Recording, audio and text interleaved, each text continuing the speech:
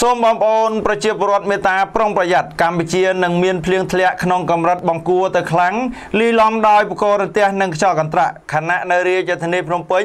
អាចប្រឈមនឹងចំនួនទឹកភ្លៀងព័ត៌មាននេះឧបត្ថម្ភដោយប្រូវីដាទឹកស្ព្រីងសុខភាព មានប្រភពពីទឹកផុសជួរភ្នំកំពត សារធាតុរ៉ែពីធម្មជាតិឆ្លងកាត់ប្រព័ន្ធចម្រោះមីក្រូវ៉ាច់ឆ្លាតពីសហរដ្ឋអាមេរិក ចាប់ពីថ្ងៃទី8ដល់ថ្ងៃទី14ខែកញ្ញាឆ្នាំ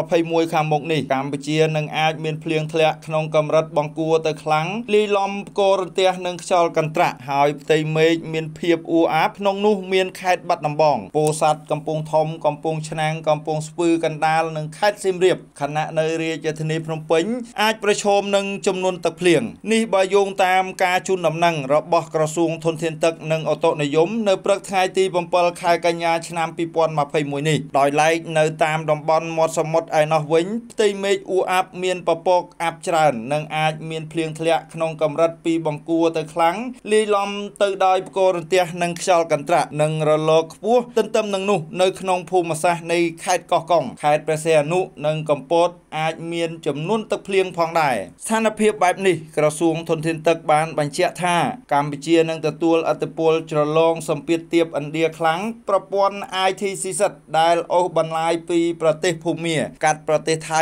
ឡាវនិងវៀតណាម រួចនឹងចុះបន្តិចមកលើកម្ពុជាខ្យល់មូសុងនៃរដីក្នុងល្បឿនមធ្យមទៅបង្គួរខ្យល់សមុទ្រវិសម្ពាធ2មួយស្ថិតនៅខាងកើតក្បែរប្រទេសហ្វីលីពីន ដែលបច្ចុប្បន្នបានបំលែងខ្លួនទៅជាព្យុះទី13និងមានដំណើរឆ្ពោះទៅវៀតណាមខាងជើង និងវិសម្ពាធសកម្មមួយទៀតស្ថិតនៅក្នុងសមុទ្រភាគខាងកើតហ្វីលីពីនធ្វើដំណើរទៅលើមិនមានអធិពលមកលើកម្ពុជានោះទេ ជាមួយគ្នានេះដែរក្រសួងធនធានទឹកនិងអូតូនិយមសូមឲ្យបងប្អូនប្រជាពលរដ្ឋទាំងអស់បង្កើនការប្រុងប្រយ័ត្នខ្ពស់ចំពោះបាតុភូតធម្មជាតិដែលអាចនឹងកើតមានឡើងជាយថាហេតុផងដែរ